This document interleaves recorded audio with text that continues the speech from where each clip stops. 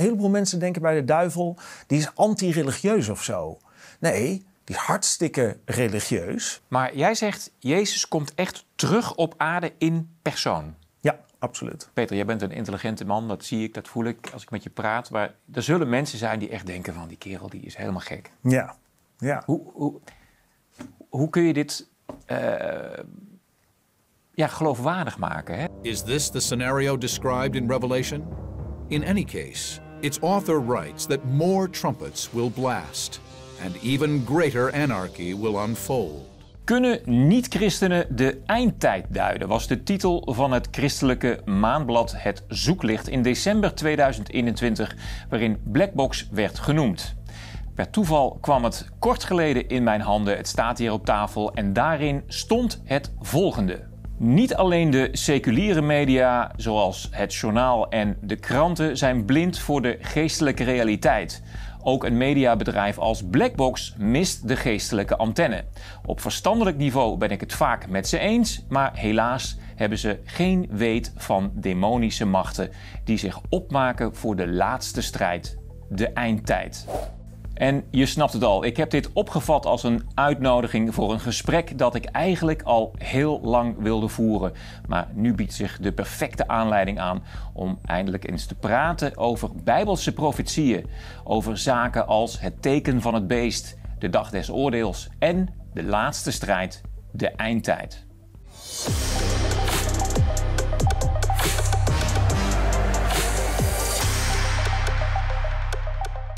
Bij mij aan tafel voorganger Peter van der Weert. Jij bent niet de auteur van deze tekst. Nee. Frits Boekhoff kon zelf niet aanwezig zijn, maar jij representeert hem. Je werkt samen met hem. En Klopt. je werkt ook aan dit blad wat hier op tafel staat, Het Zoeklicht. Klopt dat? Ik zit in het bestuur. Ja. Je zit in het bestuur. Ja. Voordat we het gaan hebben over de eindtijd, ik vind het een, een reuze interessant onderwerp. Ik ben zelf evangelisch opgevoed, dus ik, ik heb de Bijbel ook best wel eh, gelezen met Bijbelstudies. Maar voordat we het gaan hebben over die eindtijd, over het teken van het beest, want het is een onderwerp wat zwaar beladen is en waar ook veel vraag naar is geweest van kijkers bij ons. Want wanneer gaan jullie het daar eens over hebben? Nou, vandaag is de dag, dus wil Ja. ik graag weten wie is Peter van der Weert? Eh, Peter van der Weert. Ik eh, ben eh, getrouwd. Ik heb vijf kinderen en inmiddels acht kleinkinderen, 19 op komst. Ik heb eh, altijd een bedrijf gehad in eh, professioneel licht en geluid. Eh, dus daar heb ik me vooral in begeven. En op een gegeven moment, je zou kunnen zeggen, ik ben van het kunstlicht naar het echte licht gegaan. Zo zie ik het dan. Eh, ben ik theologie gaan studeren. Ik ben tot geloof gekomen op wat latere leeftijd. Theologie gaan studeren. En ehm, waar ik in die fase achter kwam, is dat ik veel gesprek had met mensen, ook veel artiesten en dergelijke waar ik mee werkte. Die allemaal wel hun vragen hadden over, eh, ja, wat gebeurt er eigenlijk allemaal en wat houdt dat geloven in? Ik geloof wel dat er meer is tussen hemel en aarde, maar wat is het dan? Of dat ze wel eens in een kerk kwamen, maar eh, geen enkele connectie voelden, maar wel nieuwsgierig waren. Dat heeft mij ertoe aangezet om, eh, om eigenlijk een ja, nieuwe kerk te starten. Die in eerste instantie gericht is op eh buitenkerkelijke. En daarnaast ben ik eh, actief als bestuurslid bij het Zoeklicht. Het Zoeklicht is een blad wat niet zozeer gericht is op buitenkerkelijk, maar meer gericht is op gelovigen.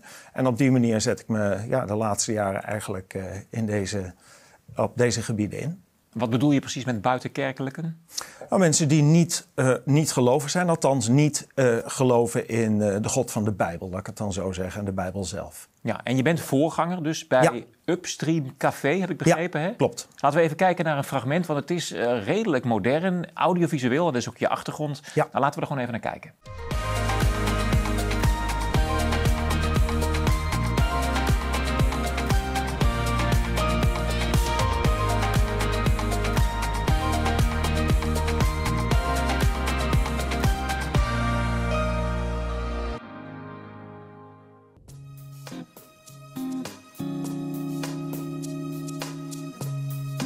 We zijn vorige week begonnen met een nieuwe vierdelige serie. Nieuwe regels voor liefde, seks en daten. Een serie eigenlijk ja, meer voor singles dan voor mensen die al getrouwd zijn, zou je kunnen zeggen. Jonge singles die nog helemaal aan het begin staan van de relatie. wat oudere singles, hè, die nou, misschien wat langer hebben uitgesteld de relatie... of nog niet diegene zijn tegengekomen, maar ze mee verder willen. Ja, dat zag er heel hip en modern uit. Prachtige belichting, goede camera-shots. En We doen ons best. Verrassend ook een onderwerp over liefde, over seks. wat heeft dat met God te maken en waar ben je mee bezig eh, in, in, in, in jouw gemeente? Ja, nou, dat, is, dat is wat we juist uh, proberen aan te geven. Kijk, de Bijbel is een oud boek, dat is duidelijk. En uh, heel lang geleden geschreven, veel mensen aan gewerkt, 40 auteurs. In een periode van 1500 jaar is dat tot stand gekomen. En um, ja, heel veel mensen hebben zoiets van, nou, dat is uh, van vroeger en van mijn opa en oma en zo. En dat is niet meer van deze tijd. Maar de Bijbel is in wezen heel actueel. En alle thema's die 2000 jaar geleden werden besproken, gingen ook over relatie en seksualiteit en financiën en werk. En dus over al die thema's wordt in de Bijbel gesproken. En, en ik probeer juist hè, met het hele team waar we dat mee doen, te laten zien dat de Bijbel hele waardevolle dingen te zeggen heeft eh, over alle thema's van het leven. En er zijn heel veel terreinen natuurlijk in het leven waar we hebben gezegd: oké, dat doen we niet. we hebben, neem bijvoorbeeld het huwelijk. Uh, ja, daar hebben we uh, God en de kaders die God daarvoor geeft. Hè, hebben we al lang geleden over de schutting gegooid en gezegd: oké, we doen het niet meer zo, ouderwets, we doen het op onze manier. En ja, ik probeer dat ook te belichten en te zeggen: oké, nou prima. Ik geloof dat God de mensen vrije wil heeft gegeven. Dus doe wat je niet laten kunt. Maar um, laten we dan eens eerlijk ernaar kijken en analyseren. Hoe goed gaat het dan nu? nu we het op onze manier doen. nu, ja, ongeveer, het CBS geeft aan dat bijna de helft van de huwelijken eindigt in een echtscheiding. Niet omdat stellen daar naartoe willen, maar omdat ze daar uitkomen. 1350 kinderen per week in Nederland horen dat hun biologische ouders uit elkaar gaan. Dus dat zijn toch wel dramatische cijfers. En ik probeer dan toch vanuit Bijbels perspectief aan te geven Um, misschien is het zo gek nog niet om er eens naar te kijken. En is niet zozeer te zeggen van ja, dit zegt God, dat mag niet. Hè, wat, wat, toch een beetje traditioneel, en wat meer autoritaire stijl was. En als je de vragen over had, gewoon omdat God het zegt. Um, maar meer te kijken ook wat zit erachter. En, en, en zit er waarde in? Waarom staan deze dingen er over huwelijk en over echtscheiding en over seksualiteit? Peter, we gaan de koe bij de horens vatten. Ik had het al beloofd, we gaan het over de eindtijd hebben. We zien het hier al op de cover van uh, het zoeklicht. Hij staat ook op tafel. Kunnen niet-christenen de eindtijd duiden?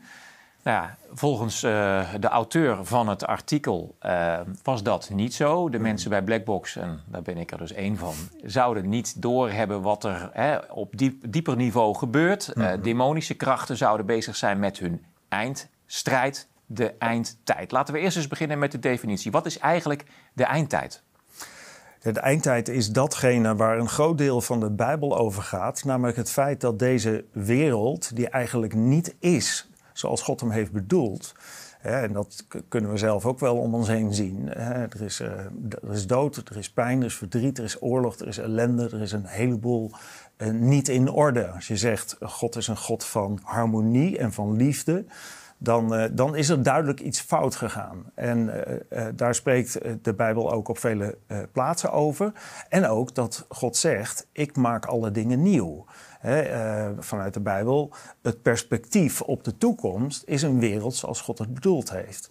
Maar zover zijn we nog niet. En er moet nog wel wat gebeuren voordat het zover komt. En volgens de Bijbel speelt daarin niet alleen God een rol, maar ook de tegenstander van God, hè, die we kennen onder de naam eh, duivel bijvoorbeeld, of Satan.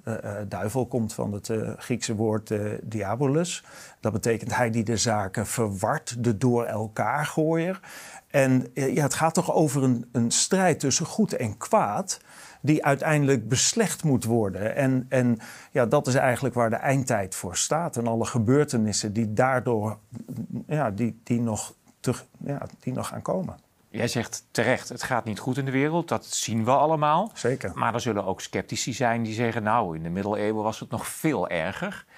Uh, slechte tijden, goede tijden, het is van alle tijden. Klopt. Uh, dus waar heb je het eigenlijk over? Hoe kijk je daarnaar? Ja, het, dat is ook zo. Je kunt zeggen, er is altijd oorlog geweest. En uh, hè, als, als Jezus spreekt over deze tijd met zijn discipelen... Ja, dan, dan zegt hij ook van, ja, het, het, het wordt steeds heftiger. Hij heeft het over weeën. Nou, uh, ween, ik heb ze zelf nooit gevoeld, maar uh, ik heb bij onze vijf kinderen het wel voorbij zien komen. Je weet dat ze elkaar sneller opvolgen en steeds heftiger worden. Het lijden in de wereld, het kwaad in de wereld is er altijd geweest, maar het lijkt wel naar een soort climax te gaan. En, en dat is toch wel de, de trend die we heel duidelijk zien. Het is, het is wel zo dat het er altijd is geweest, maar het is wel iets wat progressief variabel toeneemt. Wat kunnen we dan verwachten als we in de eindtijd zitten? Gaat het dan nu allemaal uh, Sodom en Gomorra worden, om maar eens een Bijbelse term te gebruiken? Gaan we echt een verschrikkelijke periode tegemoet? Want het is ook beangstigend om het daar zo over te hebben, toch? Dat kan heel beangstigend zijn, uh, zeker. Uh, kijk, waar eigenlijk de, lijn van, de rode lijn van de Bijbel is eigenlijk dat God tegen de mensheid zegt: zorg dat je niet aan de verkeerde kant uitkomt dus die waarschuwing die steeds klinkt van uh, de wereld, deze wereld, daar gaat het niet goed mee komen. Deze wereld gaat naar een einde toe.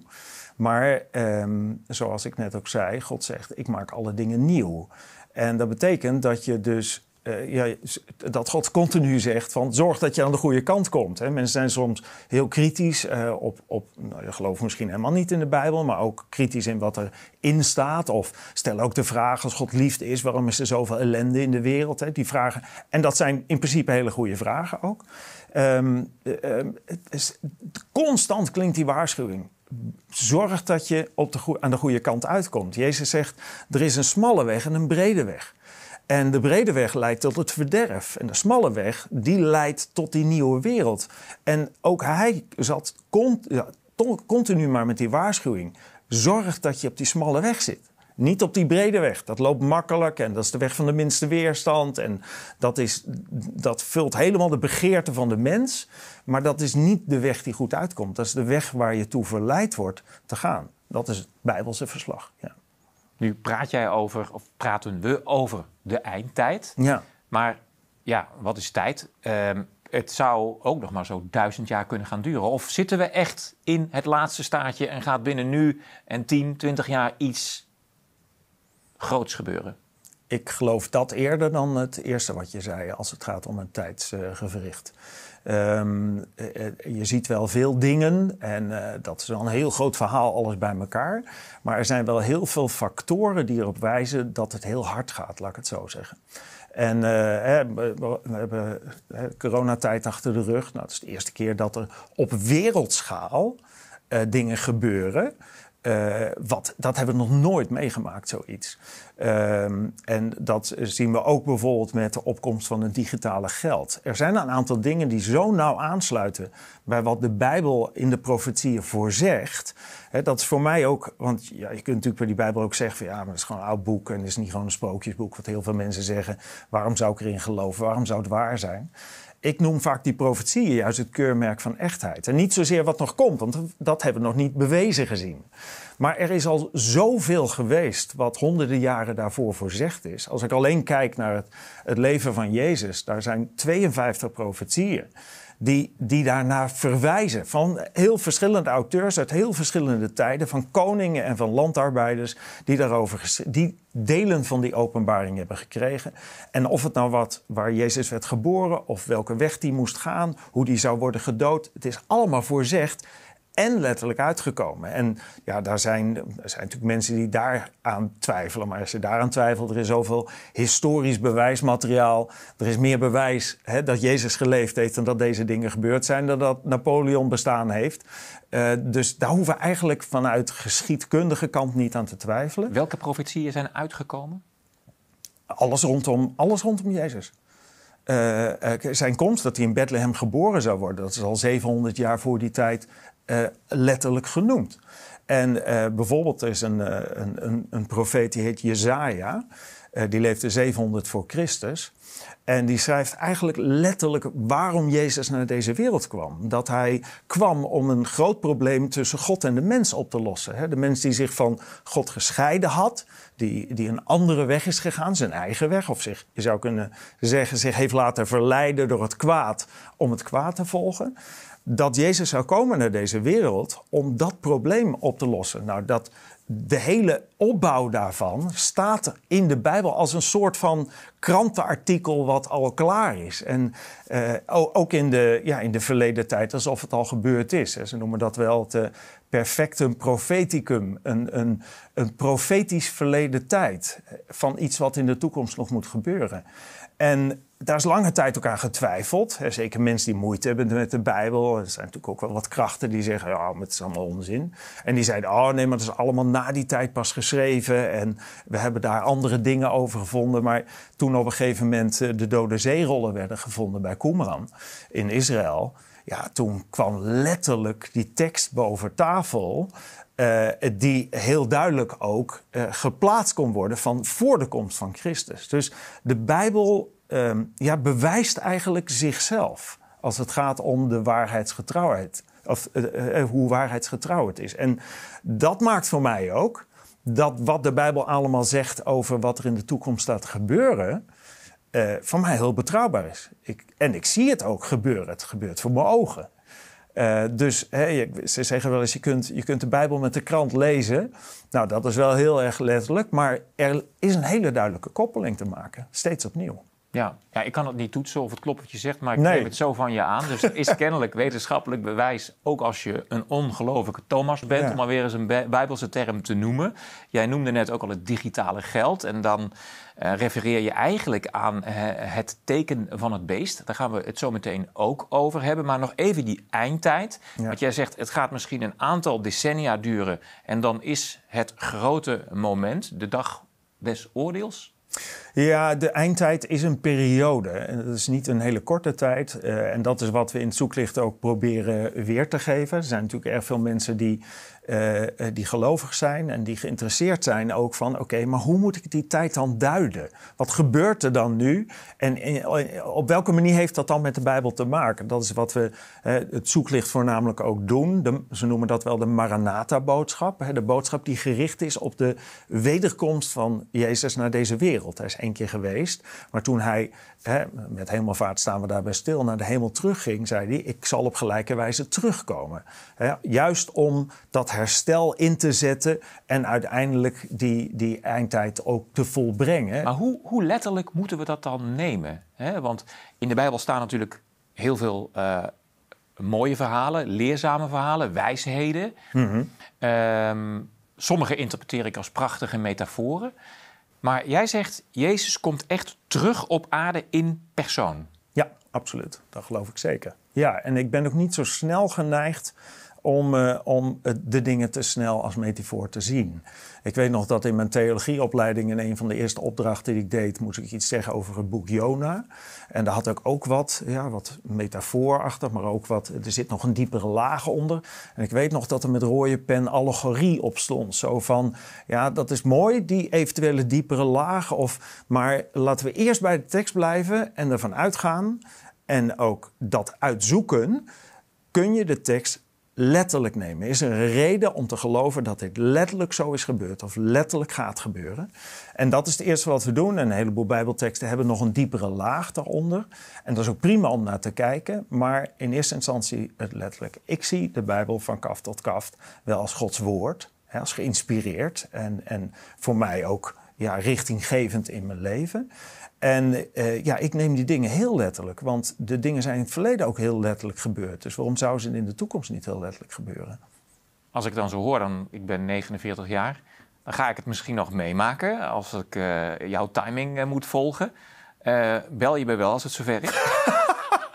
Nou ja, vragen we dan af? Ik zou zeggen, ik zou zeggen zorg dat je er klaar voor bent. Ja, ja maar ik vraag me dan af, en zonder het te ridiculiseren, ik ben echt nieuwsgierig.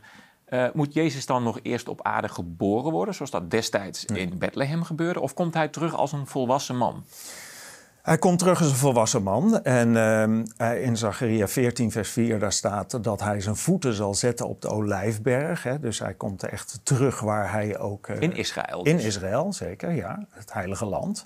Um, en en uh, ja, dan gaat inderdaad die eindtijd zich voltrekken. Daar gebeuren nog wel wat dingen daaraan vooraf. En ja, ook daar zijn, hè, er zijn natuurlijk veel Um, dat verschillen... wordt een mediaspectakel dan, neem ik aan. Want bedoel, we hebben tegenwoordig natuurlijk internet. Ja, nou, er staat ook, ieder oog zal hem zien. Dus overal dat, uh, camera's tegenwoordig. dus ja. er zal dan, hè, ik ga even mee in het verhaal, uh, een moment komen dat CNN en iedereen zegt...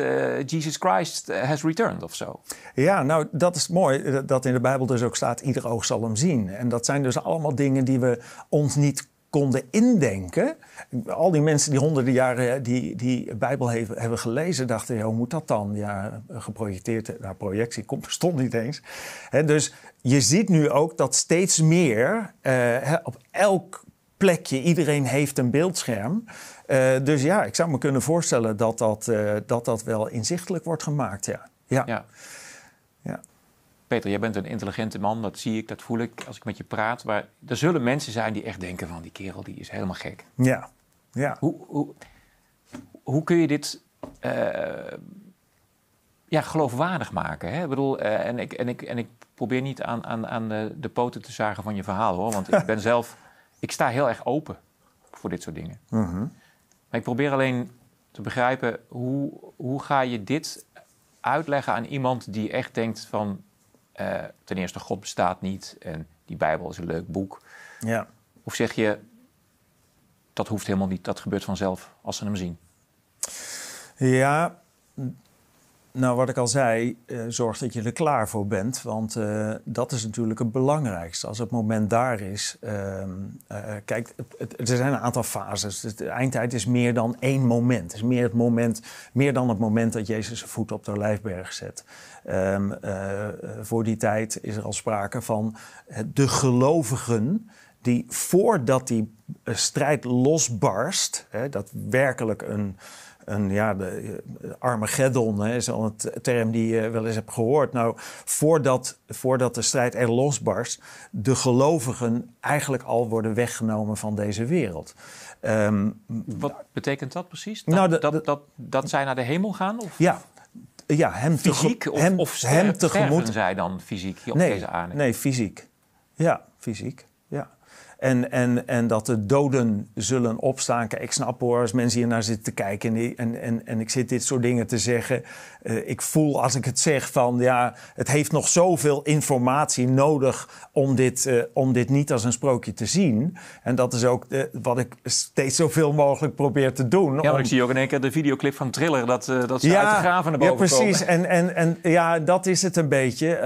het is zo belangrijk om die hele context er ook omheen te kunnen vertellen. En, en ook eh, de apologetiek eromheen. Dus de, de, dat je echt het geloof kunt verdedigen vanuit, ook een, vanuit een wetenschappelijke kant. En, vanuit, en dat is wat ik, wat ik zoveel mogelijk ook probeer te doen. Voor juist mensen die niet gelovig zijn en zeggen: Ja, sorry hoor, maar uh, neem me niet kwalijk. Uh, hoe kun je inderdaad met gezond verstand dit vertellen?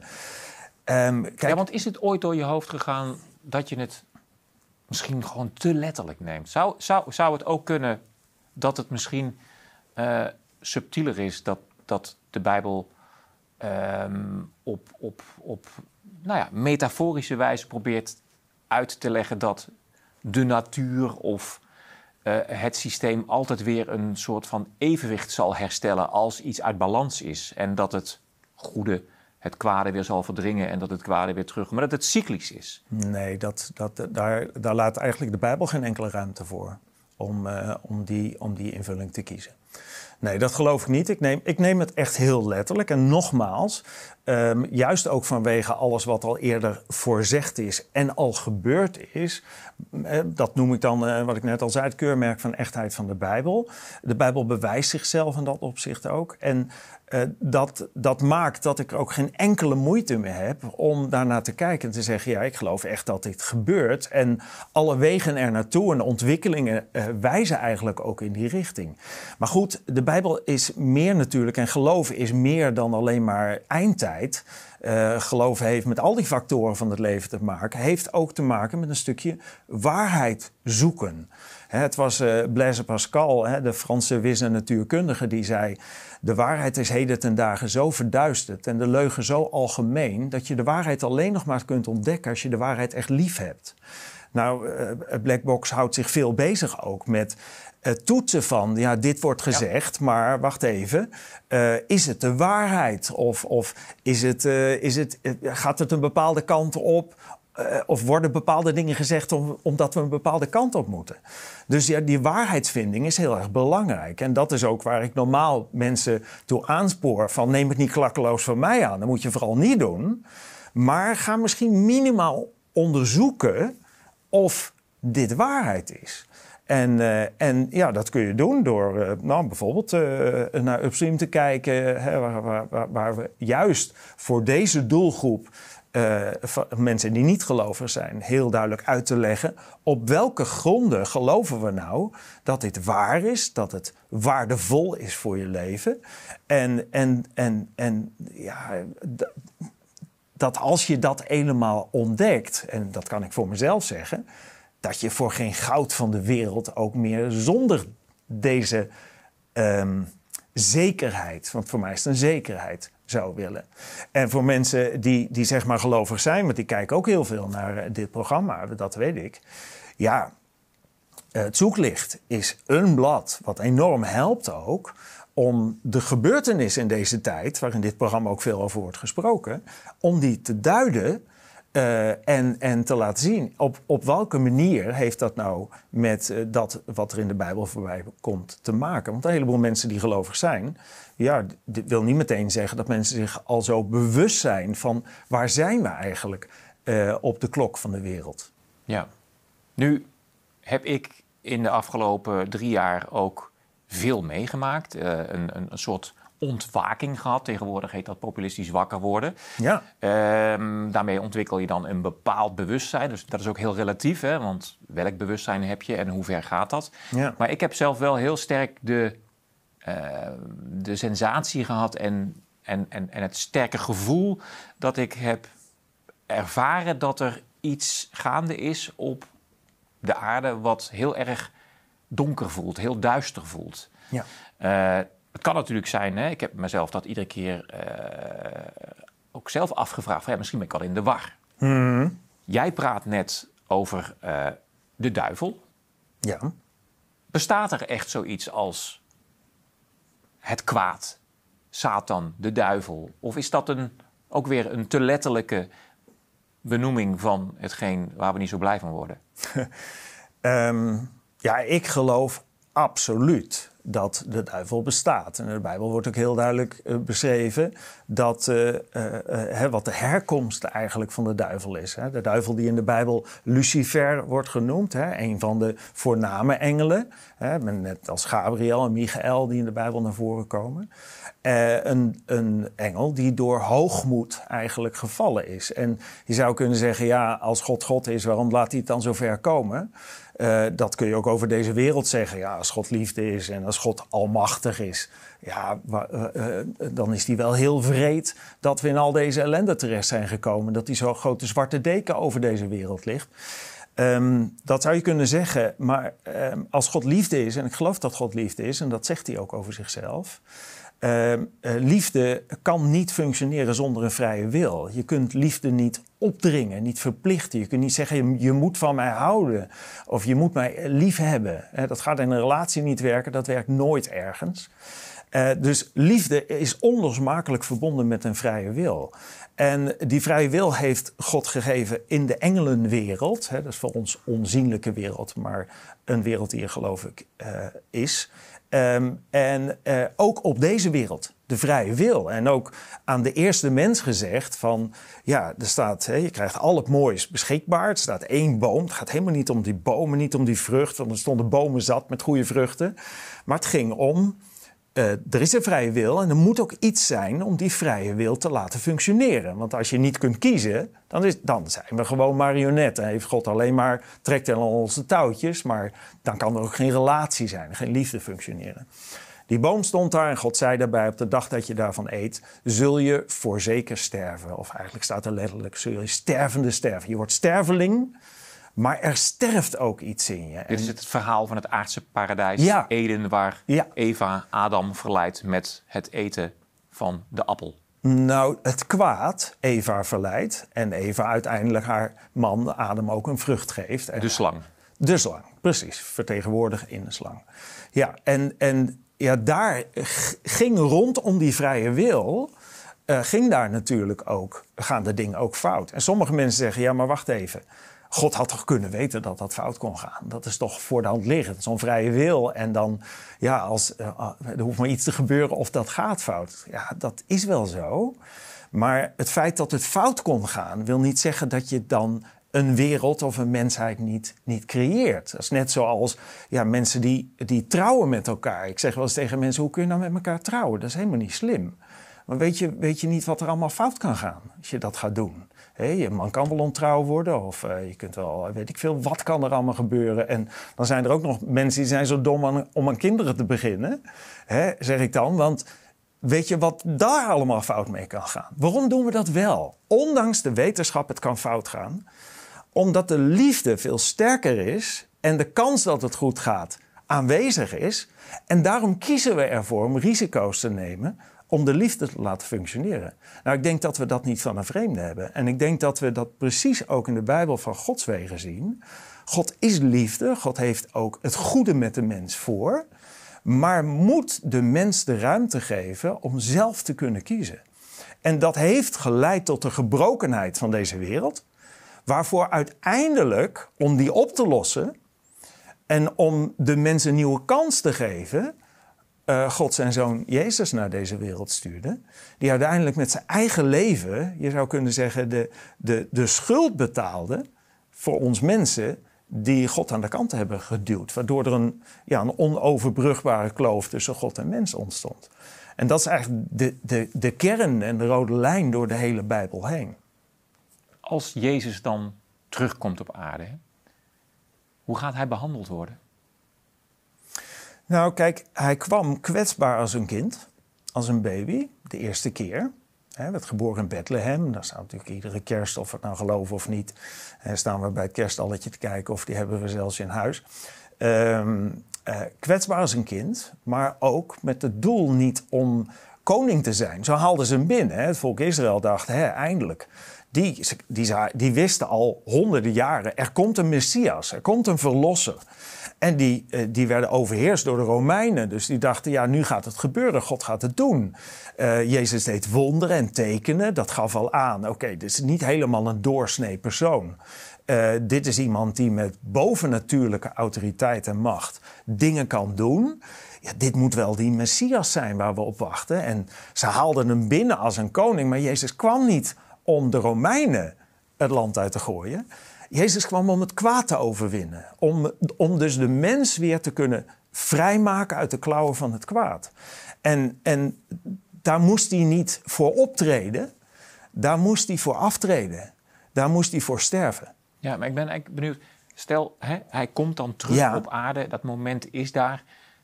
Hoe maakt hij zichzelf dan kenbaar? Of moet hij bewijzen dat hij het is? Of gaat hij iets Geen enkele doen? twijfel over. Gaat hij iets doen waardoor we denken: wauw, dit moet Jezus zijn? Of, of, of gaat daar discussie over zijn? Gaat men zeggen: dit is fake. Nee, nee, nee. nee. nee hier gaat geen eh, discussie over komen. Gaan ze een, een Messias-complex aanpraten? Ja, ja, het is een psychopaat. Hoe, hoe, hoe, hoe moet hij, zichzelf manifesteren? hij komt met macht en majestaat, zegt uh, de Bijbel. Hij komt dus echt terug om te regeren op aarde. En daar gaat nog een periode overheen voordat deze aarde ook echt tot een definitief einde zal komen. Er zal nog een regeringsperiode van Christus zijn, waar hij zal regeren met ijzeren staf. En dat betekent niet hard optreden, maar wel door rechtvaardigheid laten zien dat rechtvaardigheid de dingen in orde maakt.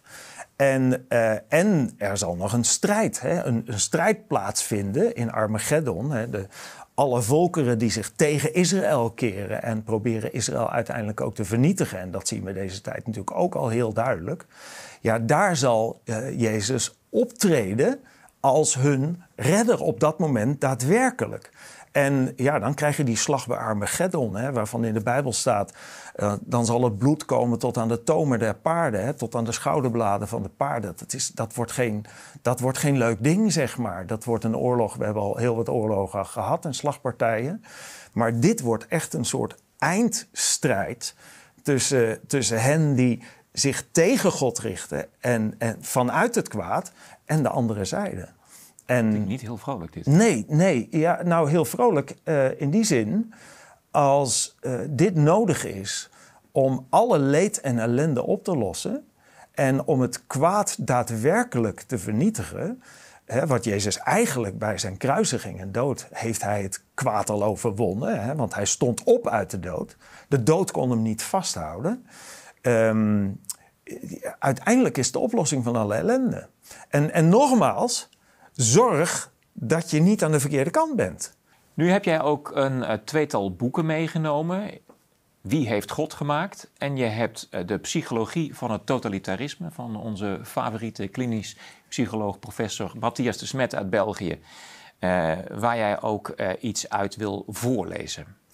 Ja, ik vond het een erg intrigerend boek, omdat ehm, in dit boek de Smet natuurlijk een beschrijving geeft van wat is er gaande, wat beweegt er, hoe, welke bevolkingsgroepen, waar komt dit vandaan. Uh, hij start ook heel erg vanuit, ja, er is het rationalisme, voortgekomen uit de Franse revolutie, de verlichtingsdenken, van God moeten we buitensluiten, alles is rationeel te verklaren.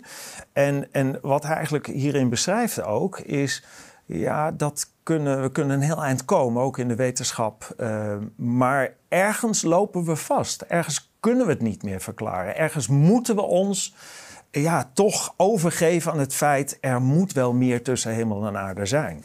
En, en hij, hij schrijft op een gegeven moment dit... Um, Um, hij zegt: De tocht van de wetenschap eindigt niet zozeer in een superieur weten, maar in een soort Socratische bescheidenheid. Een mens die hem ver genoeg heeft afgelegd, beseft beter. Hij weet dat elke rationele kennis relatief is en vreemd blijft aan de essentie van het object dat hij probeert te begrijpen. En dan gaat het om deze zin ook. Aan het einde ervan wacht een ontmoeting met iets dat niet met logica en ratio te vatten is. En dan, um, dan gebruikt hij eigenlijk een citaat van Max Planck. Hij eh, was Nobelprijswinnaar van de natuurkunde. En uh, die schrijft ook: We must assume behind this force the existence and a conscience of intelligent spirit. This spirit is the matrix of all matter. Both religion and science require a belief in God. Dus we, moeten verwachten dat achter al deze, en hij beschrijft ook uh, ja, waarom atomen bij elkaar komen en dergelijke, dat we, dat we wel steeds kunnen beschrijven wat er gebeurt en dat het gebeurt, maar niet waarom het gebeurt. Net zoals zwaartekracht.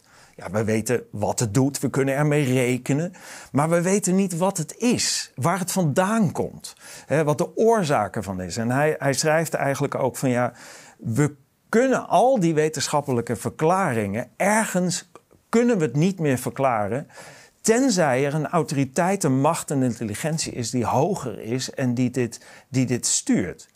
En dat zie je eigenlijk ook ja, in de ontdekkingen rondom DNA bijvoorbeeld desoxyribonucleïnezuur. Het woord is niet alleen heel ingewikkeld, maar het is ook heel ingewikkeld. En in de tijd dat, um, um, ja, nou, zeg maar honderd jaar geleden of honderden jaren geleden, toen, toen wisten we daar nog niks van. Maar nu zien we, ja, daar, zit, dat bestaat gewoon uit taal. Het, het is een sturend orgaan waar instructie in zit, waar informatie in zit. Wat bestaat uit letters, uit woorden, uit, uit reeksen. Nou, eh, we weten dat informatie nooit zonder intelligentie kan ontstaan. Uh, daar moet intelligentie achter schuil gaan. Dus ik vind het mooie van dit boek van de Smet ook dat hij uiteindelijk toch uitkomt en zegt: ja, hoe dan ook moet God hier iets mee te maken hebben. Zonder dat hij daar een, een waardeoordeel aan verbindt of zonder dat hij nou op de Bijbel ingaat of wat dan ook, um, erkent hij wel: ja, er is een hogere autoriteit. En ja, daar ben ik het uiteraard helemaal mee eens. En, en ik zie dat ook. Als ik ook kijk naar, naar ja, hoe, de, hoe de wereld in elkaar steekt en uh, hoe de natuur in elkaar steekt. Ik, in de Bijbel staat Ehm, over misschien ook wel deze tijd, maar ook toen die tijd al. In, een, in het Bijbelboek Romeinen staat: God is wel onzichtbaar, dat is natuurlijk zo. Maar zijn werk, alles wat hij heeft gemaakt, geschapen, bewijst zijn eeuwige kracht. Daar zit eigenlijk een stuk bewijs achter. Um, want sinds het ontstaan van de wereld is zijn bestaan duidelijk te herkennen uit wat hij gemaakt heeft. Daarom hebben de mensen ook geen enkele verontschuldiging. Je kunt niet zeggen, ik heb eens niet gewoest. Want je kunt het zien als je het wil zien. Je kunt die waarheid echt ontdekken. Hoewel de mensen in staat waren God te kennen, staat er in dit Bijbelgedeelte, wilden ze hem niet de eer geven die hem toekomt en hem niet eens danken voor alles wat hij heeft gedaan. Ze hielden zich met allerlei ideeën bezig. Van allerlei, ja, maar het zou ook dit kunnen zijn of dit kunnen zijn. In hun verdwazing raakten ze het spoor bijster Hoewel ze dachten dat ze alles wisten, waren ze in werkelijkheid dom. En ja, dat is wel wat ik deels ook zie gebeuren. Hè? Als je zegt, ja, eigenlijk mag God niet bestaan. Het rationalisme zegt dat eigenlijk ook. Hè? Nou, we sluiten dat buiten. Uh, net zoals uh, uh, Dick Swaap hè, dat boek schreef. Ik weet niet of het een broer is van Klaus trouwens, denk ik niet. Nee. Maar Dick Swaap, hè, we zijn ons brein. Hè, alsof we alleen maar cellen zijn in al die beweringen loop je uiteindelijk vast. Want er, in alles is het bovennatuurlijke, is het ongrijpbare, is zichtbaar. En, en dat is onverklaarbaar. en, en dat andere boek wat ik hier heb is van um, Edgar, Edgar Andrews. Een uh, man die een heel groot visitekaartje moet hebben, want hij heeft zo ontzettend veel titels.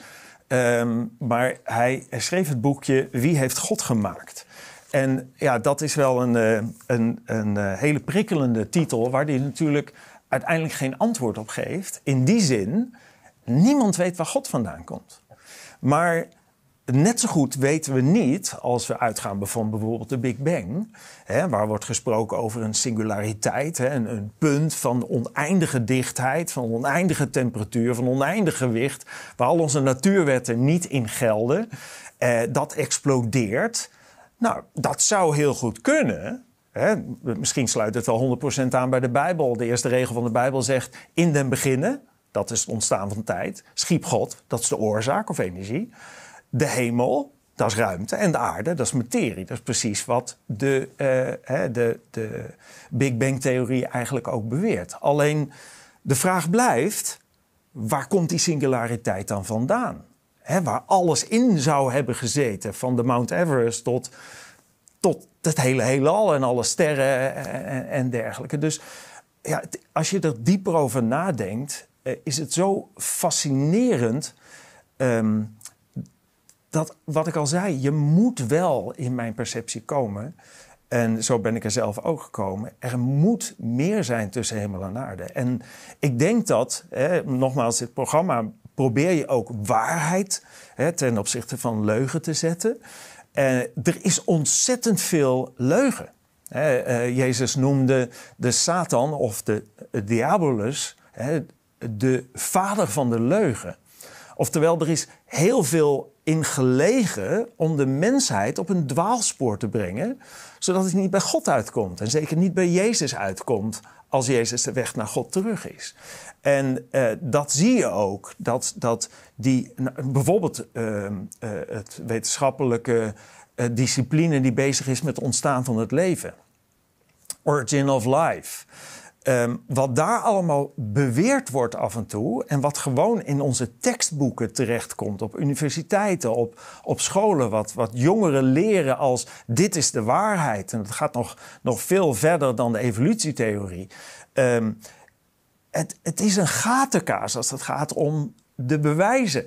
En een, een, een, een groot geleerde, James Tour, die, nou, die heeft er een beetje zijn werk van gemaakt op dit moment om te laten zien dat al die, al die beweringen daarover echt geen enkel fundament hebben. En, en we hebben 70 jaar geleden hebben we dat grote experiment gehad. En zeiden ze in één keer van, ja, wij kunnen zelf in het, in, hè, wetenschappelijk, we kunnen in, in, in het laboratorium kunnen we leven creëren. Zo groot werd het eigenlijk aangekondigd.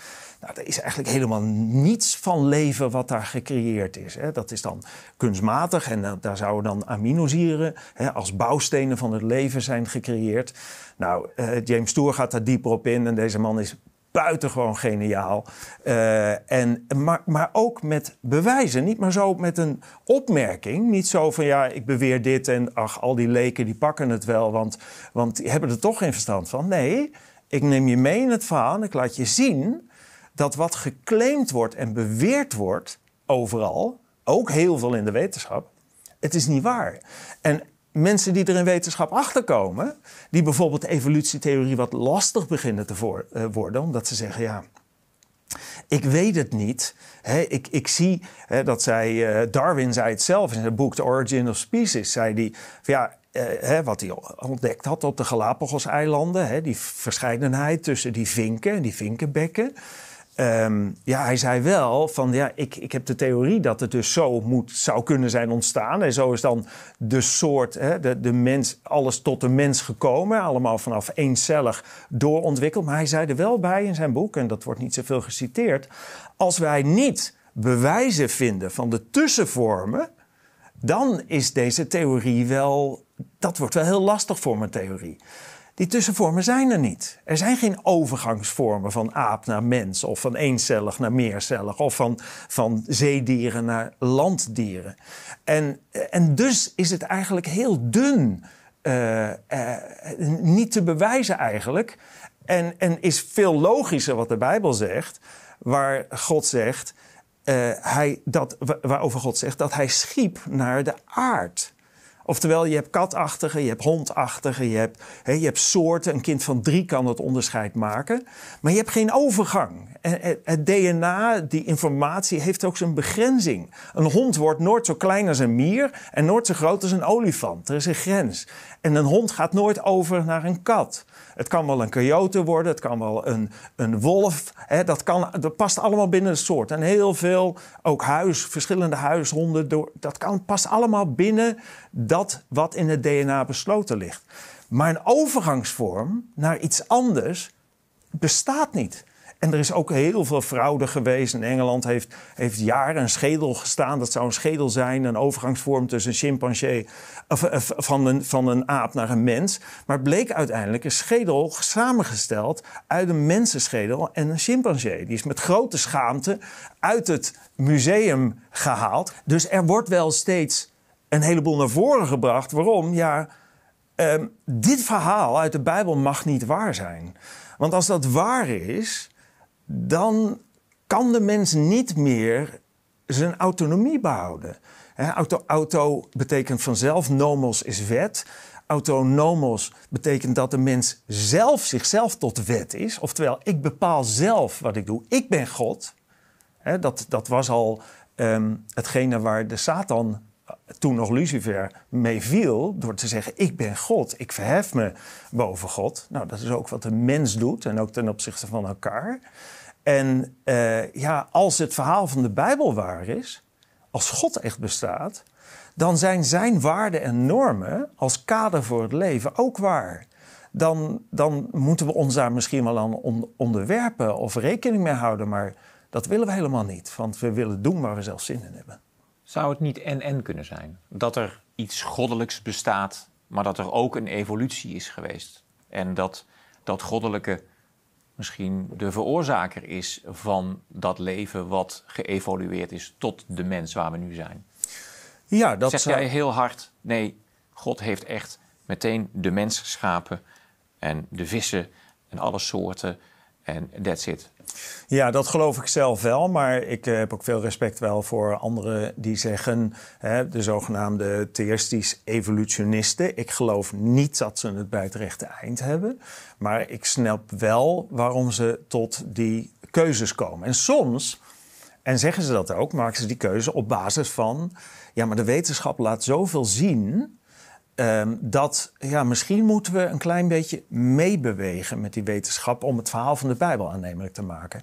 Ik heb die neiging niet zo sterk, want het verhaal van de Bijbel kun je nooit aannemelijk maken als je de, het bovennatuurlijke wil uitsluiten. Eh, als, als God God is en als die bestaat, dan is God dus niet gelimiteerd in wat hij doet. Ja, je zegt eigenlijk als die straks terug op aarde kan komen. Wat natuurlijk een wonder is, wat niemand ja. nu zal geloven die niet gelovig is.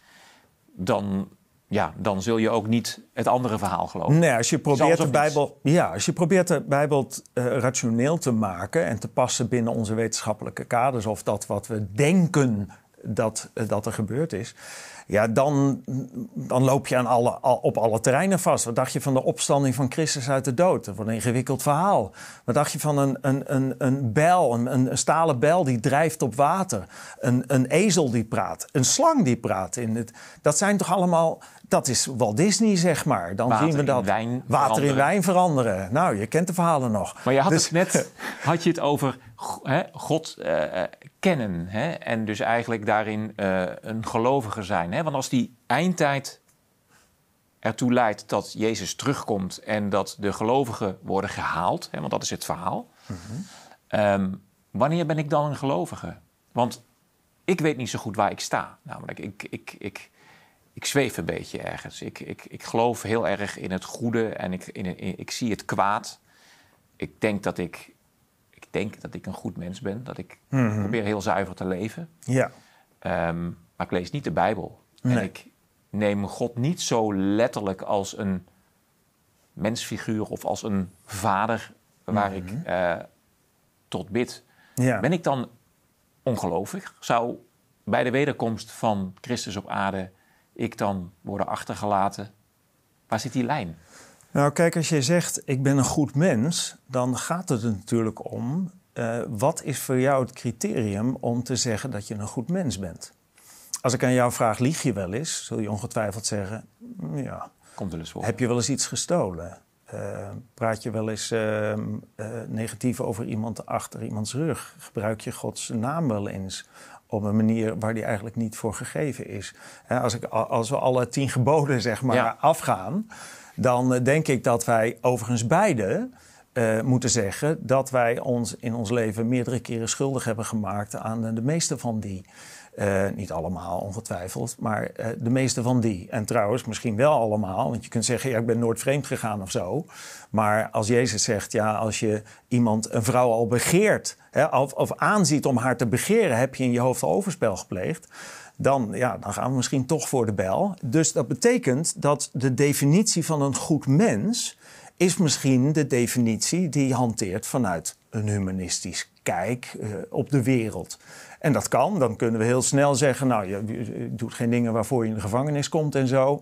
Je, je, volgens mij ben je een hele aardige vent en, eh, en, en, en, en, en, en prima in de omgang en je zult ook je dingen hebben. Maar als God bestaat en als God heilig is en als liefde de standaard is, dan moeten we toch allemaal wel erkennen dat we ons toch regelmatig in ons leven laten verleiden door de begeerte van onszelf om dingen te doen die haak staan op liefde. Dan betekent het dus dat je volgens Gods standaard niet een goed mens bent, maar in wezen een mens wat wij misschien nog wel goed noemen, maar wat volgens die standaard geen goed mens is. Een zondaar. Een zondaar, ja. Maar en, een christen, een gelovige, kan ook zondigen. Dus ja, waar, en, waar, doet, en, en dat doet hij ook nog steeds. waar Ik zou ook. Christus dan, als hij terugkomt, de lijn trekken? Hè? Want je hebt natuurlijk ook zondige christenen Ja. die af en toe zondigen. Nou, Eh, maar je hebt waarschijnlijk ook heel veel mensen die eh, in een moslimland zijn opgegroeid en eh, van vader op zoon moslim zijn geworden. Ja. Waarschijnlijk eh, keurig naar, naar de moskee gaan, Ja. denken dat ze het goed doen, nooit hebben geweten dat ze het verkeerd deden. Nee. Nou, er komen, in die er komen in die landen meer mensen tot geloof dan in het rijke Westen. Dus, Nee, maar wat gebeurt er met die mensen? Zijn zij dan ook kijk, afvalligen? Er staat een tekst in de Bijbel die zegt, er staat in Johannes 3, vers 16. Eh, daar staat, al zo lief heeft God de wereld gehad, dat hij zijn enige geboren zoon gegeven heeft. Opdat een ieder die in hem gelooft, hè, zijn vertrouwen op hem stelt, niet verloren gaat, maar eeuwig leven heeft.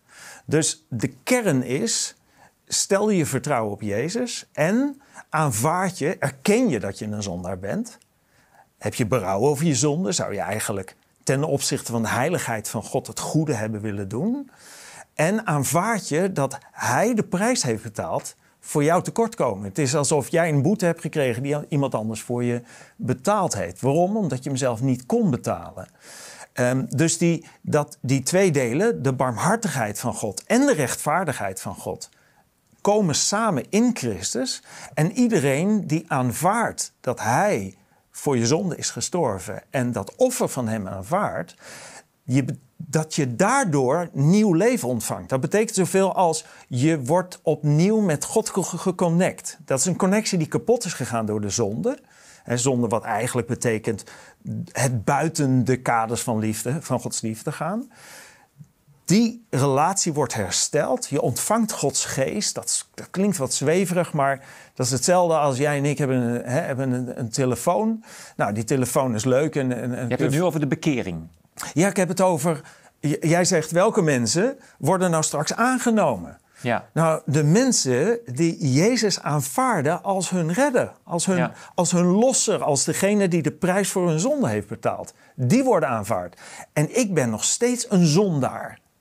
zijn dat dan ik, ook ik ben de niet mensen... beter dan jij of wie dan ook. Zijn dat dan ook de mensen die op dat moment misschien zeggen: Oké, ik aanvaard Jezus nu als mijn God? Het zou Of- kunnen. Eh, ik geloof, ik geloof dat, eh, dat er een hele periode kan zijn waarin mensen nog steeds tot die keuze kunnen komen. Ik geloof wel dat de consequenties van die keuze steeds ingewikkelder worden. Als, als het kwaad echt regeert op aarde, wat in die eindtijd zal gebeuren, dan zal een ieder die de keuze maakt om Christus te aanvaarden, zal dat met zijn leven moeten bekopen. Want het zal niet meer getolereerd worden. Die tolerantie eh, die wordt steeds minder. En, en, en we weten door alles heen dat we ook altijd in het zicht zijn. Alles wat we doen. Er zijn nu ook al landen waar, waar je als christen bijna niet je, je, je geloof kunt beleiden. Want ja, er wordt op je gelet, wordt gezien en dan word je gevangen genomen of word, kom je in een her, heropvoedingskamp terecht of wat dan ook. Nou, ik geloof dat dat in sterke mate in de toekomst kan gebeuren. Dus dat is de reden dat ik ook zeg, ja, waarom zal je uitstellen tot morgen wat je vandaag kunt doen? Hè, kijk ernaar, onderzoek het, want ik geloof dat er dus die weg is die niks anders kost dan het aanvaarden van dat offer van de Heer Jezus. En dat dat ertoe leidt dat je met God verbonden wordt. En dat, je, en dat is bekering, of wedergeboorte, zoals de Bijbel dat ook noemt. En dat betekent, hè, want je wordt niet opnieuw geboren. Hè. Toen Jezus dat zei, toen die, die, die schriftgeleerde die zei... je maar kan toch niet opnieuw bij mijn moeder eh, in, in de buik terecht... Nee, zei Jezus, maar zo bedoel ik het ook niet. Dat is geestelijk. Je krijgt geestelijk opnieuw leven. Oftewel, je wordt opnieuw geconnect met God. Net zoals je telefoon geconnect wordt met wifi... en dan begint hij te doen waar die voor gemaakt is. Nou, zo worden, kunnen we geconnect worden met God... En dat is de garantie voor het nieuwe leven, voor die nieuwe aarde, voor die plek waarvan God in, op een van de laatste bladzijden van de Bijbel zegt: dat zal een plek zijn waar geen dood en geen verdriet en geen ziekte is. En waar eigenlijk ook geen vrije wil meer hoeft te zijn, want je komt daar alleen door je vrije wil, door een vrije keuze. Maar er zijn, geloof ik, een paar miljard moslims op deze aardkloot. Ja, ehm, die elke dag bidden, meerdere malen. Nog fanatieker zijn dan de gemiddelde christen. ja. Hebben zij dan allemaal pech? Hebben zij dan per ongeluk het verkeerde geloof, het verkeerde afslag genomen? Nou, ik geloof niet dat dat eh, zo zit. Ehm, eh, hoe dat precies zit, weet ik ook niet. Ik weet niet hoe dat precies zit. Kijk, wat ik net zijn al zei. mensen die Ja, maar het wat ik beste willen doen, lijkt me. Die in ieder geval religieus zijn, serieus nemen, eh, een goed mens willen zijn. Ja, Ehm, is dat dan helemaal verwaarloosbaar? Nee, dat is absoluut om- niet verwaarloosbaar. Om het goede te willen doen? Nee, maar wat ik net al zei, eh, op dit ogenblik, en dat is al langere tijd zo, komen er meer mensen eh, eh, uit moslimomgeving tot geloof dan in het Rijke Westen tot geloof komen. Hè, hier zie je een ontkerkelijking. Je ziet dat we hier ons heel erg verlaten op onze rijkdom en God niet nodig hebben, zelf God willen zijn. Terwijl er in die landen heel veel tot geloof komen. Heel veel eh, moslims krijgen ook door dromen juist, hè, want die zijn heel onbereikbaar, ehm, maar juist door dromen een stukje openbaring krijgen. Door dromen soms Jezus te zien en komen daardoor tot geloof. Zeg je daarmee dat de Bijbel of het christendom de enige juiste religie is? Dat de andere eigenlijk ja, foute afslagen zijn? Eh, Jezus zegt: Ik ben de weg, de waarheid en het leven. Niemand komt tot de Vader dan door mij. Eh, dus de exclusiviteit wordt door Jezus gesteld. En de uitnodiging aan, aan ieder mens is ook om eh, die weg ook te zoeken. En het is de intentie van het. Een heleboel mensen denken bij de duivel, die is anti-religieus of zo. Nee, die hartstikke religieus, want dat heeft ook te maken met het bovennatuurlijke. Het enige wat hij doet, is zoveel mogelijk afleiding creëren in van allerlei religies en noem allemaal maar op. Om maar te zorgen dat je niet de weg vindt, maar een weg. En we zeggen ook, er is niet meer. Als Jezus zegt, ik ben de weg, de waarheid. En niet, dat is, heel impopulair in deze tijd. We zeggen, we hebben allemaal onze eigen waarheid. Dat kan helemaal niet. Uh, er kan niet. 2 plus 2 kan niet en 4 zijn en 5. Dus er moet een waarheid zijn. Iedere filosoof die daarover met je doorpraat, zal waarschijnlijk tot, dat, tot die conclusie komen ook. Als hij zegt: Ik ben de weg, de waarheid en het leven. Niemand komt tot de Vader dan door mij. Dan geloof ik dat niemand tot de Vader komt dan door hem. En dat je dat heel serieus moet nemen. En waarom zou je zoeken naar een andere weg als deze weg er is? Hoe kijk je naar spiritualiteit? Hè? Want ik ben de laatste jaren spiritueler geworden. Hmm. Ik weet ook niet zo goed wat de definitie daarvan is. maar ik ben in ieder geval niet een aanhanger van een specifieke religie, maar ik heb wel heel erg de indruk dat er zoiets is als iets goddelijks hmm. en als het kwaad. Dus ik, ik zie die elementen. Um, en ik heb ook het gevoel dat er meer is tussen hemel en aarde. Uh, ik mediteer wel eens. Ehm, ik ben ook wel iemand die uh, bepaalde sensitiviteit heeft voor sferen, voor misschien wel voor entiteiten. Ik, ik bedoel, ben geen waarzegger of ik, uh, ik, ik, zie geen rare dingen, maar ik, ik, ik bedoel te zeggen dat er ook nog zo'n vlak is van uh, agnostische stromingen waarin mensen niet zozeer zich koppelen aan een boek of aan een religie, maar wel heel erg bezig zijn met dat goede en dat kwade. Ja. Is dat een tussenvorm die geaccepteerd is? Nou, het, is een, het is een logische vorm. Uh, wat ik net al zei, de mens is ongeneeslijk religieus. Oftewel, ik geloof dat ieder mens uh, dat goddelijke bewustzijn heeft. Um, ieder mens voelt ergens wel aan, of je moet het heel bewust wegdrukken. Dat kan. De Bijbel zegt dat we onze ziel kunnen toeschroeien, zodanig dat het ook niet meer ontvankelijk is hiervoor. Um, maar uh, in beginsel is ieder mens re heeft religieus besef. En, en ik denk ook dat ieder mens uh, op zoek is naar geluk. We willen heel graag gelukkig zijn, dat is ook heel en je zegt religieus besef, is dat een synoniem voor spiritualiteit? Het zou je spiritualiteit kunnen noemen. Alleen de vraag is: uh, welke spiritualiteit je uiteindelijk brengt waar je ten diepste naar verlangt. Want ieder mens verlangt om gelukkig te zijn. Ik denk dat een, een deel van onze zoektocht naar geluk en naar rust, naar vrede, naar hoop, naar onvoorwaardelijke liefde. Uh, voortkomt uit de leegte die is ontstaan, omdat er een disconnectie is ontstaan tussen God en de mens door de zonde. En we zijn op zoek, we zoeken dat gat te vullen, zou je kunnen zeggen. En dat kun je op tal van terreinen doen. Dat kun je ook doen door, door rijkdom, eh, door, door, door feesten, door drank, door drugs, door uh, rock'n'roll en noem maar, maar op. Maar steeds opnieuw merken we toch wel dat de houdbaarheidsdatum van dat geluk heel kort is. En, en dan gaan we weer op, opnieuw op zoek. En dan uh, hebben we weer een nieuwe auto of een nieuw ding. En dan komen we er na drie weken weer achter dat die nieuwe lucht eruit in is. En onze lucht erin zit. En dan is het niet meer leuk. En dan zo blijven we maar op zoek. Zo zoeken we ook op spiritueel gebied. Natuurlijk. En het aanbod is oneindig het, spirituele aanbod. En waarom? Nou, als Jezus de enige waarheid is, kan hij geen leugens verspreiden. Hij kan geen, geen um, dingen creëren die dan ook wel een beetje aansluit bij de spirituele behoeften van mensen, maar niet helemaal waar zijn.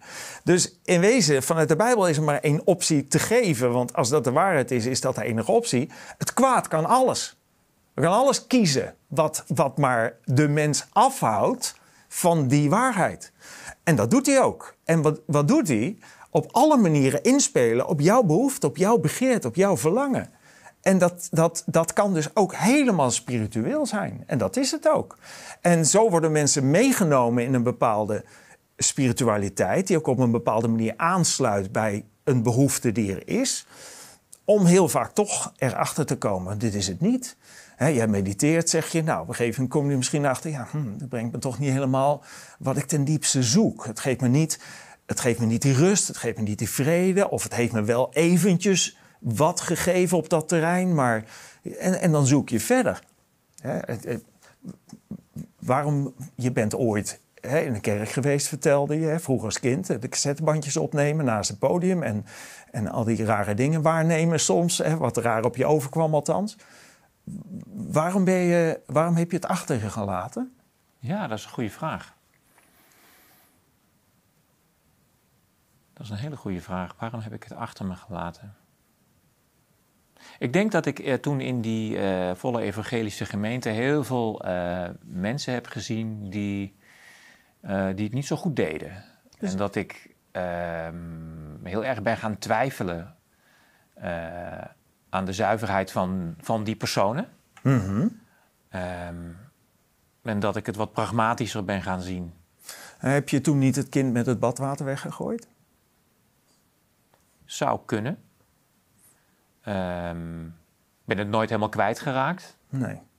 Eh, dus ik, ik, ben wel, ik ben wel heel blij met, met, met, die, met die basis. Mhm. Want dat, dat, dat eh, eh, leven in, eh, in zuiverheid of in, in reinheid, om het maar even weer zo te zeggen. dat, dat is wel altijd bij me gebleven. Maar om dan toch maar weer eventjes iets persoonlijks te vertellen. Ik weet dat in die evangelische gemeente ook echt werd gesproken over ehm, de zonde van bijvoorbeeld masturbatie. Hè, er werd uitgelegd eh, in het Latijn eh, manus, hand, sturbus, verstoring, Oh, ja. masturbatie, Ja. handverstoring. Ja. Eh, masturbatie was zondig. Hè? Je mag jezelf niet bevredigen, want dat is iets goddelijks. Dat hoort bij het huwelijk. En Ja. de zegen van God hoort daarover te rusten. Ja. Ik heb in mijn jeugd jarenlang daar last van gehad. Ja. Dat ik mij Ja. Tot later leeftijd eh, vies heb gevoeld, Ja. onrein heb gevoeld, schuldig heb gevoeld en seksualiteit heb gezien als iets, Ja. iets wat niet goed is of wat niet zuiver is. Dus ik heb ook wel een keerzijde gezien van die, ehm, ja, ik heb het gezien als indoctrinatie, die mij eh, eh, niet heel veel positiefs heeft gebracht. Maar wat ik net al zei, heb je het kind niet met het badwater weggegooid. Want dit is natuurlijk het verhaal van heel veel mensen... die zeker ook in hun jeugd in de kerk zijn geweest. Eh, waar iedere kerk wel zo zijn eigen dogmatiek ontwikkelt... en zijn eigen eh, dingen ontwikkelt. Waar je mensen tegenkomt die... waarvan je zegt, nou sorry, maar als, als dat christenen zijn... dan weet ik het niet meer. Eh, de dingen die ze doen. Hè, eh, zondag op, eh, vroom op de eerste rij, maar door de week doen ze waar ze zin in hebben. Ehm, heel veel mensen knappen erop af en dat snap ik ook. Maar je zou moeten afknappen op die mensen en op die dogmatiek en op de dingen die verzonnen worden erbij of gecreëerd worden door mensen. Heel veel kerkleiders, en dat is natuurlijk ook de klacht voorafgaande aan de, aan de Franse Revolutie, is ja, ze onderdrukken alleen maar het volk. Het is een machtsblok wat ze vormen. Dat is hartstikke onbijbels. Dus er worden een heleboel dingen gezegd over God en de Bijbel... die helemaal niet in de, in de Bijbel staan. Ik heb een hele serie gedaan eh, bij Upstream. En eh, eh, dat, de, de titel daarvan was Lees geen Bijbeltekst. Eh, want eh, God is anti-vrouw en God is pro-genocide en God is eh, pro-slavernij. En om allemaal, want dat zijn allemaal dingen die gezegd worden. En de meeste oorlogen komen voort uit geloof. Het zijn allemaal dingen die niet te verklaren zijn vanuit de Bijbel, maar wel vanuit het Bijbelverhaal. De dingen die eromheen verteld worden. En het handelen van de mens. Handelen van de mens. Maar de vraag is, kijk, en ik snap het helemaal en ik vind het een heel verdrietige situatie in wezen dat het heel veel gebeurt. Maar jij laat de kerk achter je. Maar had je de kerk maar achter je gelaten, maar je hebt de kerk en God achter je gelaten. Eh, niet helemaal, dat zeg je ook. Hè. Het, heeft, het me nooit helemaal losgelaten. Ik, ik, ik, ik denk erover na, ik sta daar open voor. Maar juist denk ik dat je erover na moet denken. Wat was nou mens en wat was hier nou God? En, en dat kun je alleen ontdekken door de Bijbel te gaan lezen en tot ontdekking te komen van wacht eens even. Ik lees hier helemaal niet dingen die bijvoorbeeld eh, eh, in die lijn liggen van wat daar verteld werd. De mensen die daar dingen deden, dat kunnen ze helemaal niet met met de Bijbel in de hand hebben gedaan. vroeger waren er kruistochten. Nou, hoe kunnen ze nou kruistochten? Joden kerstenen hè, onder het zich verplichten te laten dopen. Nou, dat kun je niet met de, met de Bijbel in de hand doen. Dat, dat is niet uit te leggen. Dat is allemaal mensenwerk. Dat is machtsvertoon. Dat is de Bijbel buik laten spreken voor dat wat jij wil doen. Dat is heel veel gebeurd. Er zijn ook heel veel klachten natuurlijk vanuit de katholieke kerk, maar dat komt in alle kerkstromingen voor. Maar de uitdaging is om te zoeken: is het nou, is God nou liefdeloos? Of zijn hier liefdeloze dingen gebeurd omdat dit mensen zijn die fouten maken? En soms om macht uit te oefenen, maar soms ook gewoon omdat ze niet in staat zijn om het goede te doen. Ik ben christen. Ik heb het verlangen om steeds meer op de Heer Jezus te lijken. Om liefde in de praktijk te brengen, om het goede te doen.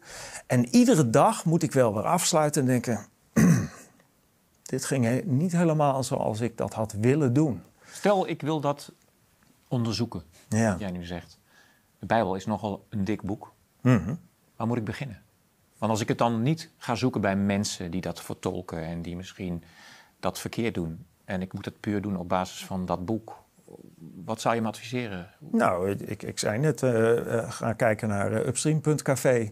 Uh, dus ik weer te kijken naar een interpretatie van een mens. Daar zou ik ja, maar je mag, ja, maar slaat erop na. Ik bedoel, je, dat zeg ik ook steeds dan. Hè. Nee, het, ging mis, het ging bij mij mis dat ik dus de, de, de mens in zijn handelen Hè, uh, ja, uh, dan ga de Bijbel lezen. Aan, aan, aan, aan, aan het geloof zelf. Ja, en als ik dat dan probeer te ontkoppelen en ik ga puur naar dat boek. Ja. En ik koppel het niet aan mensen of aan vertolkingen van mensen. Nou, wat zou ik dan met pak de Bijbel, begin bij het Nieuwe Testament. Hè, de, de, de, plek waar Jezus zichzelf introduceert, waar hij geboren wordt, uh, vertelt over hoe, hij, hoe God het leven bedoeld heeft. Hè, de, de bergreden, ja, dat, dat, dat zit vol met de oproep tot sociale gerechtigheid.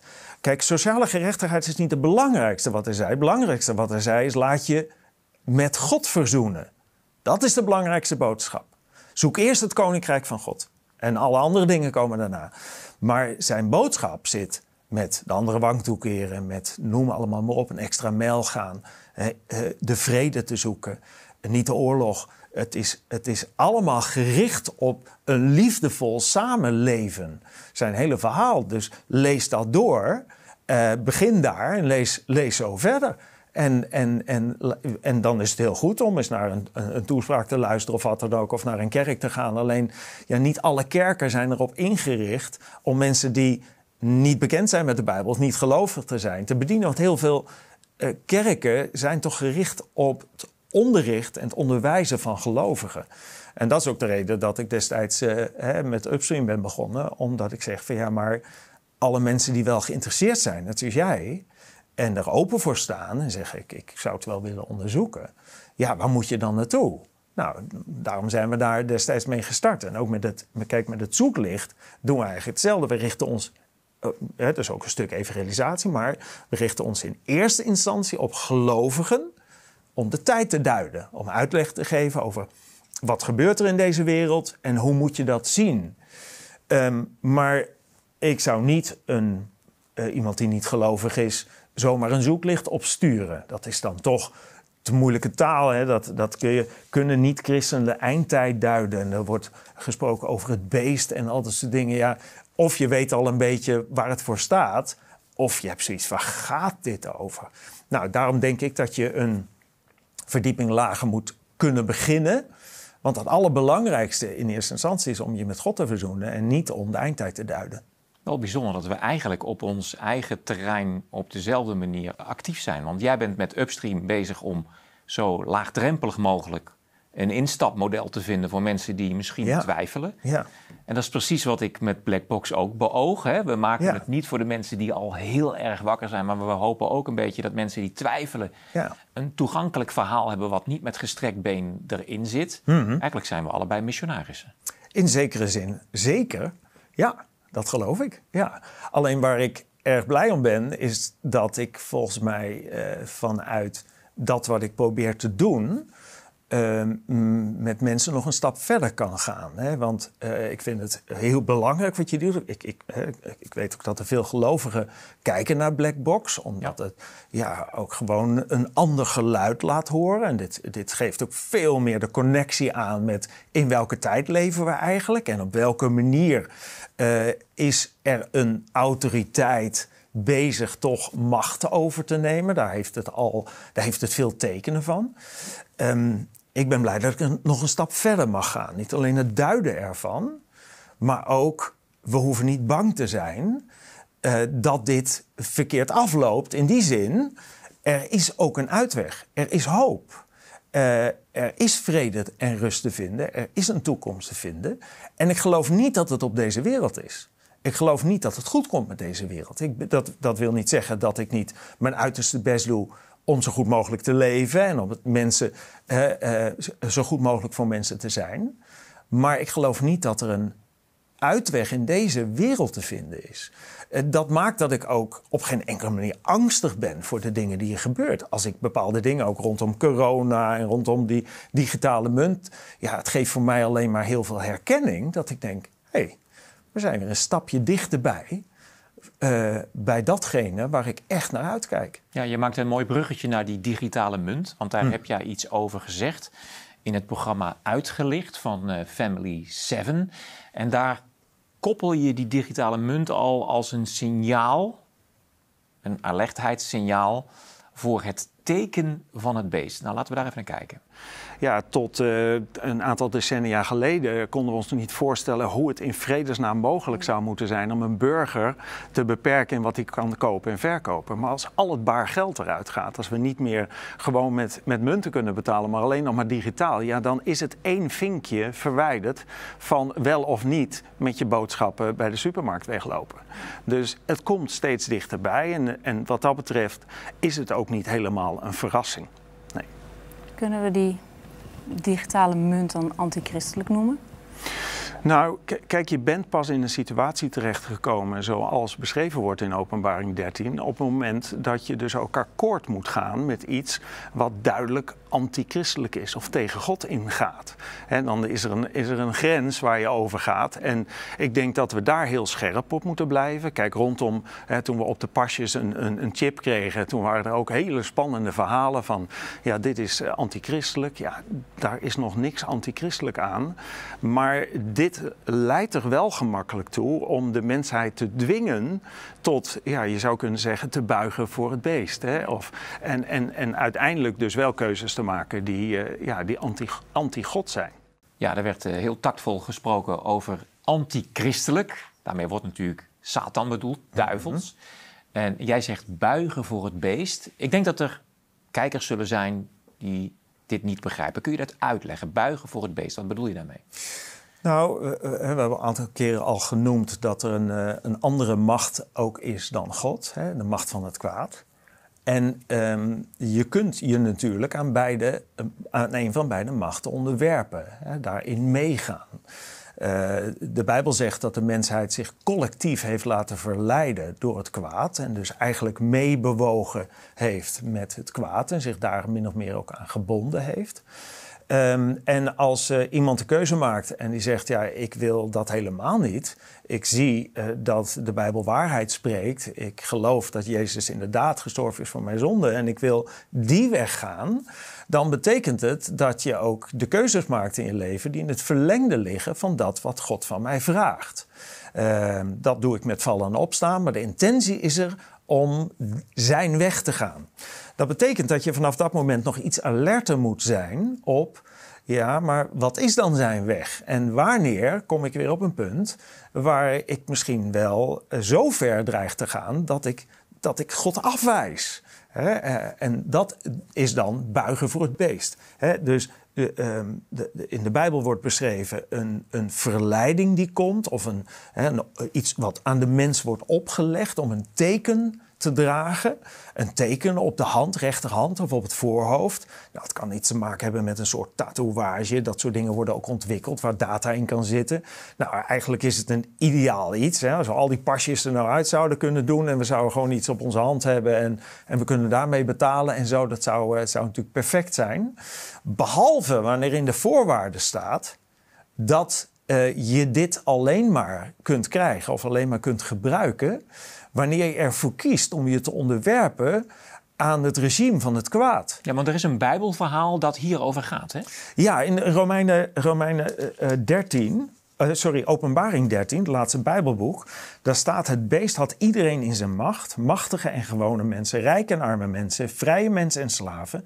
Het dwong iedereen om een merkteken op zijn rechterhand of op zijn voorhoofd te dragen als voorwaarde om te kunnen betalen. Want dan staat er alleen mensen die dat merkteken hadden, konden iets kopen of verkopen. Het merkteken was de naam van het beest of het getal dat zijn naam voorstelt. Nou, dit is jaren, decennia, eeuwen gelezen. En voor de, voor de record, dat getal wat zijn naam voorstelt is 666. Is 666, ja, klopt. Um, dit is het eeuwen gelezen met hoe moet dat dan in elkaar zitten? Hè? Wat ik net ook zei in het fragment. Uh, hoe kan nou de mens verboden worden om te kopen en verkopen? Nou, langzamerhand is dat voor ons niet meer zo vreemd om voor te stellen. Dat is dat bruggetje van jou naar de digitale euro, de central bank digital currency. Ja, het, wordt, het, het komt zo onder toezicht. En als alle girale uh, geld eruit, of al het geld eruit is, het baargeld, dat we niet meer gewoon kunnen betalen of dat niet meer de bank het regelt, maar een centraal orgaan, ja, daar kan natuurlijk ook in gestuurd worden, heel makkelijk. En dan, kan, uh, dan kunnen ze in Den Haag nog zo zeggen, ja, het wordt niet gebruikt om te sturen. Ja, dat kan wel niet de intentie misschien nu zijn, maar dat wil niet zeggen dat het niet kan, want het kan wel. Je kunt het programmeren. Je kunt zeggen hij wel, hij niet. En als dan je betaalmiddel niet werkt, dan blijf je dus inderdaad ja, berooid achter. Nou, dit zijn dingen die, die eeuwen onduidelijk waren van hoe moet dat nu komen. Nou, nu zien we de ontwikkelingen heel hard gaan en op wereldschaal. Want ja, als je naar die digitale munt kijkt, wereldwijd er zijn elf landen die al heel ver daarmee zijn. Er zijn heel veel landen die daarmee testen. Er zijn op dit moment twee gebieden, hè, Senegal is één van, en uh, nog een gebied die het, die het geweigerd hebben. Alleen ja, dat is een kwestie van tijd. Je kunt niet meer mee in, in, in de wereld economie als je daar niet in meegaat. Dus dit wordt een wereldwijd systeem, wat dus ook een wereldwijd toezichtssysteem wordt.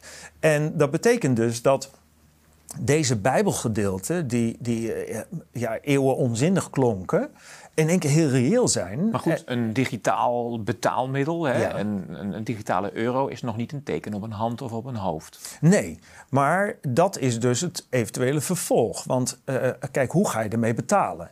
Uh, komt dat digitale uh, middel uiteindelijk in uh, Apple Pay, zeg maar? Of wordt het nog gemakkelijker, hè, zijn we nog minder kwetsbaar namelijk, als we het gewoon vast aanbrengen op de mens? Hè, dat kan niet makkelijk weggehaald worden. Die technologie is er al bij Microsoft, de patenten liggen er. Zeker, die technologie is er, dat is allemaal ontwikkeld.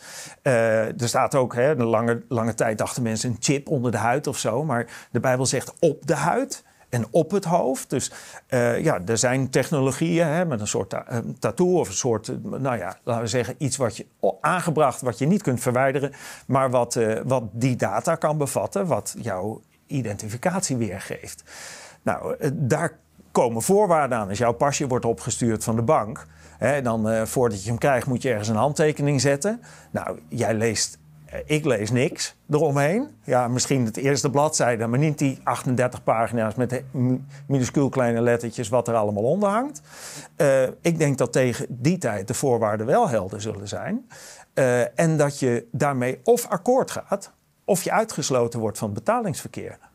Dat is natuurlijk een angst die een hoop mensen hebben. En een zorg die wij hier bij Blackbox ook regelmatig uitspreken. Dat mensen ja. daar te lichtzinnig over denken, over ja. dit soort technologieën. Ja. Uh, maar jij plaatst dit echt in, uh, in relatie tot de eindtijd. Je Zeker. zegt, dit is een fase waarin ja. je ziet, is een teken, het is ja. nabij. Ja, absoluut. Ja, dit, is, uh, dit gaat zo ontzettend hard.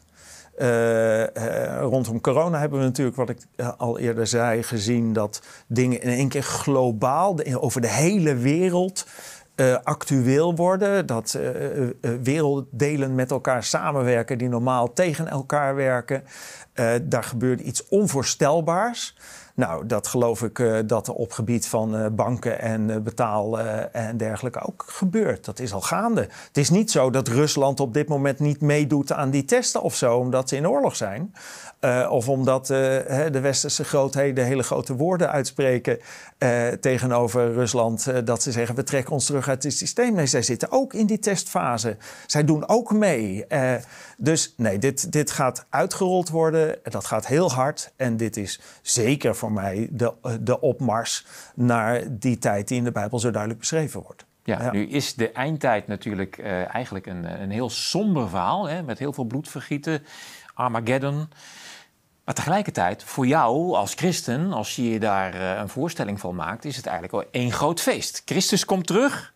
Ja, het is absoluut hoopvol. Maar dan zou jij eigenlijk deze tijd ook niet zo negatief moeten interpreteren, toch? Nou, kijk, ik vind de gebeurtenissen negatief, omdat alle invloed die het kwaad uitoefent op deze wereld en de onvoorstelbare hoeveelheid mensen die daaronder gebukt gaan en die daar mee te maken krijgen, is natuurlijk uiterst verdrietig. Ja, er wordt veel schade aangericht. Onvoorstelbaar veel schade aangericht bij mensen. En dat is natuurlijk heel verschrikkelijk. Kijk, en wat ik al die mensen gun, is dat ze God leren kennen. Uh, ik, ik ben nu 18 jaar voorganger, dat doe ik onbezoldigd. Dus dat betekent, ik word daar niet voor betaald. Ik heb geen salaris van de kerk of zo, of, of van, van Upstream. Of, en nou, gelukkig is het niet nodig. Ik heb, ik heb jaren uh, een eigen bedrijf gehad en ik heb dat bedrijf verkocht. En uh, daar kan ik nog steeds van leven en daar ben ik zeer dankbaar voor. Omdat, ja, ook zeker als je het evangelie verkondigt, zit je meteen in de verdachte hoek als, als je de collecte aankondigt. Nou, we hebben geen collectors, dus dat scheelt. En, um, maar dat betekent dat um, je daardoor een stuk vrijheid hebt om dingen te zeggen. Ik gun iedereen om God te leren kennen. Want dat geeft zo'n onvoorstelbare rust en vrede en hoop omdat ik ben gaan zien en gaan ontdekken, het is echt waar. En ondanks dat lijden wat er zo duidelijk is, is er voor mij die hoop. Ik kijk er naar uit. Ik kijk niet uit naar het lijden, ik kijk niet uit naar die slachting. Maar ik kijk uit naar die nieuwe wereld. En iedereen die daar gebukt gaat onder die slachting, of iedereen die uiteindelijk ten prooi valt aan het oordeel van God, valt niet ten prooi aan dat oordeel omdat hij niet voor God had kunnen kiezen, maar omdat hij niet voor God heeft gekozen. Ondanks de vele keren dat God aanklopt, en ik geloof dat hij dat bij ieder mens doet, waar hij ook ter wereld woont, bij, God aan, bij de mens aanklopt, en dat zegt de Bijbel ook, ik, ik, ik sta aan de deur en ik klop. Laat me binnen. Eh, dus ik denk dat de mens op vele verschillende manieren eigenlijk um, door God gezocht wordt, maar God afwijst. En als je God uiteindelijk afwijst, ja, dan moet je je niet beklagen over het feit dat je dan komt op een plek waar die liefde en die vrede en die heelheid niet is. Want daar wilde je immers zelf geen onderdeel van zijn. Dus vandaar ook die oproep die ik iedere week opnieuw doe aan de mensen die komen. Verhard je hart niet. Bestudeer het, hoor het aan en weet er is een weg uit deze ellende. En de weg is Christus. Peter, ik vond het echt heel mooi en inspirerend om met je te praten. Ook moedig dat je zo openhartig over deze thema's hebt gesproken die door sommige mensen worden geridiculiseerd. Maar jij spreekt het gewoon uit. De eindtijd is nabij teken van het beest, ehm, buigen voor het kwaad. Dat moeten we natuurlijk sowieso niet doen. Nee. Um, ik beloof jou, ik ga de Bijbel lezen. Heel goed. Wie weet uh, ga ik me wel bekeren. ga ook naar Upstream. Ik hoop het voor je. Ja, Echt. dankjewel. Mijn moeder, uh, die nu kijkt, zal dat heel fijn vinden. ja. Zij bidt vaak voor mij. Ja. Um, Upstream Café ga ik ook eens naar kijken. Raad ik ook iedereen aan. Leuk om eens te zien wat uh, Peter zoal doet. En uh, ja, fijn om te horen dat de eindtijd nabij is. Uh, als het zo is wat jij zegt, Peter, binnen nu en een aantal decennia, dan, uh, dan is de strijd voorbij. En hoeven we misschien niet meer zo te strijden. Want een hoop mensen zijn natuurlijk aan het strijden en zijn ook moe gestreden. snap ik. Ja. En ja, soms vragen we ons natuurlijk ook af. Hoe moeten we ons verhouden tot alles wat er nu gebeurt in deze wereld? En dat is voor iedereen een grote worsteling. Ik denk dat voor een hoop mensen dit gesprek ja, misschien ook wel een beetje perspectief heeft gebracht. Voor anderen misschien ook weer heel veel nieuwe vragen heeft opgeroepen. Denk erover na uh, wat je er allemaal van vindt. Uh, ik probeer niemand in een hoek te drukken of uh, een mening op te leggen. En ik, ik ga ook nog goed nadenken over dit gesprek. Want ik heb, ik heb veel gehoord waar ik, ja, waar ik, dat moet ik nog even laten bezinken. Maar dat zal voor, voor de meeste mensen ja. gelden. Dank voor het kijken. Deel deze video. En hopelijk tot de volgende keer.